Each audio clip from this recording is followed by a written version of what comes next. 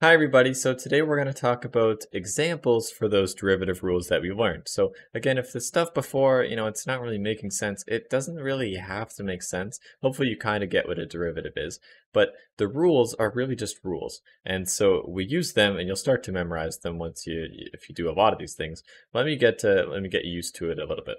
So we learned the constant rule and that just said that if you had a function f of x times c, where c is some, some number, so then the derivative, so d by dx of c, c f of x, well that's just simply, you can take c out and then take the derivative of f with respect to x.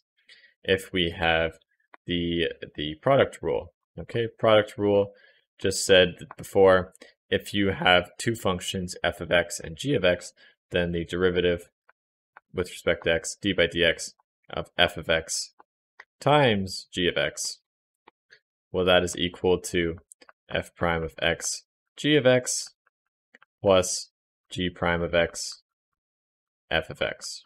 Okay, we also had the, the power rule, which said if you have a function that looks like x to the n, so the d by dx of x to the n is simply n x to the n minus 1. And finally, we have the chain rule. So chain rule, it says that the derivative, if you have a function h of x, so we'll say h of x is equal to f of g of x, which means we put, we have whatever f is, whatever g is, we put g into f. And we'll talk about that. It's kind of confusing, but I'll, I'll show you what I mean. And so the derivative, or, or h prime of x, I'll just, yeah, I'll just write it as that. So h prime of x, the derivative of h with respect to x, is equal to f prime at g of x times g prime of x. So let's get an example for each of these and build up to more and more complicated functions. I'm never going to do anything super crazy because it's not really necessary. Uh, most people going to university have taken some pretty nasty derivatives and you get used to it.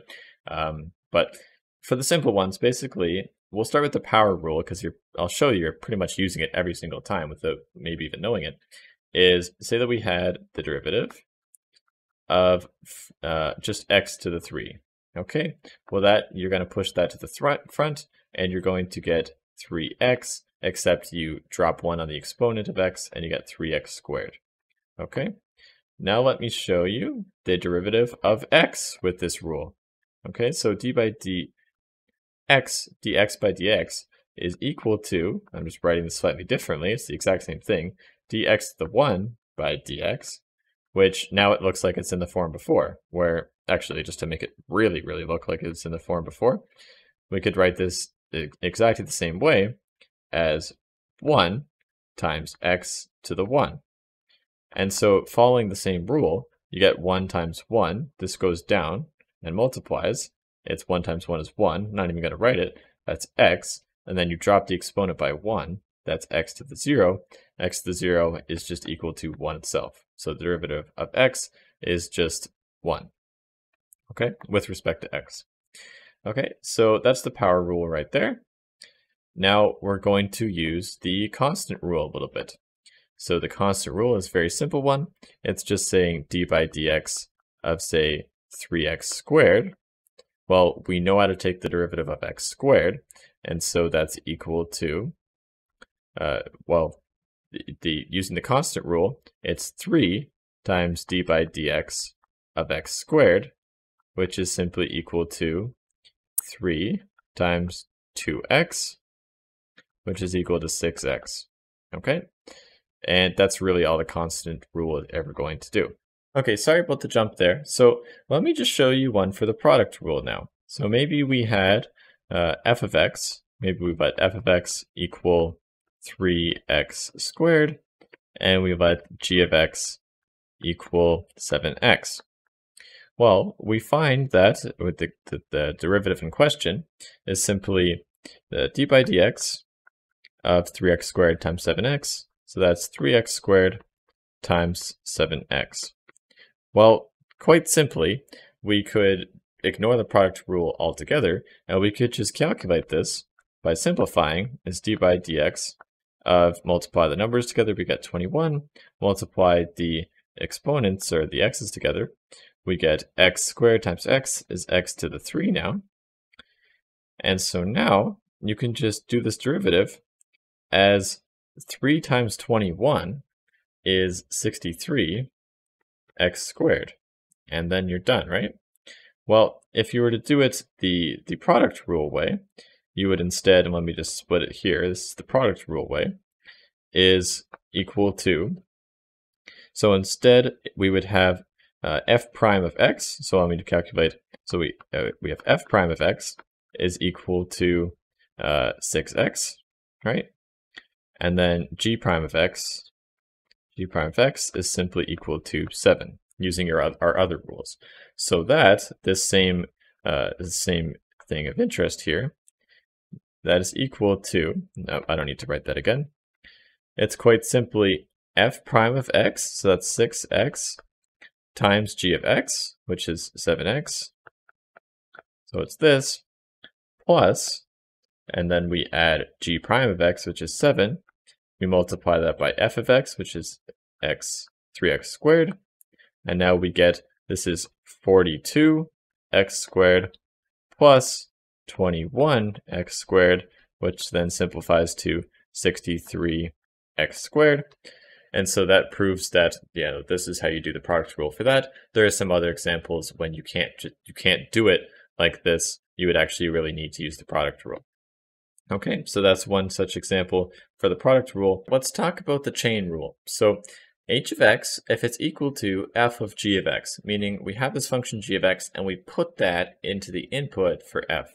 So then h prime of x actually is equal to f prime of g of x times g prime of x.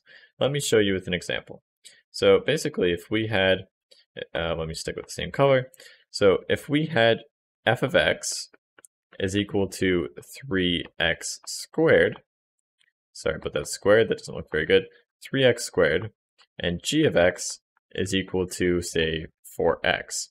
Well, that means that h of x must be equal to, we, we take, um, we do f of 4x Okay, and so that means we put 4x into that input, it goes into here, and so we get 3 times that input, or x, all squared, which, again, if we were just to ignore the rule, we, we, can, we can simplify this right away. We have 3 times 16x squared, which is 48x squared.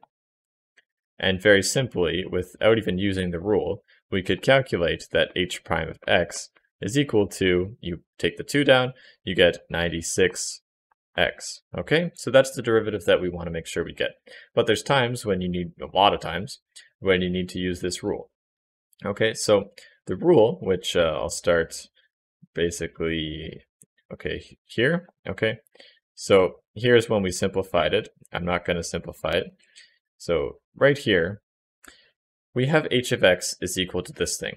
Well, we're saying that h prime of x is f prime of g of x and g prime of x. Clearly, we need f, f prime. So f prime of x itself is equal to 6, 6x, okay? Uh, g prime, g prime of x is equal to just 4.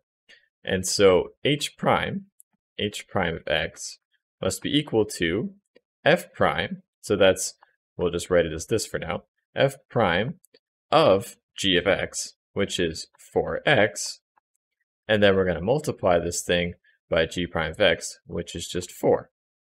So that's equal to f prime, uh, and the f prime is 6x, so this is actually 6 times 4x times 4, which is equal to 24x times 4, which is the same thing, it's 96x. Okay, so that was an example for the chain rule, um, and that was an example for everything, really. Okay, so we're done with these kind of rules. We're gonna show uh, very shortly, not quite yet, but very shortly, how we can actually solve for beta naught and beta 1 earlier using these techniques.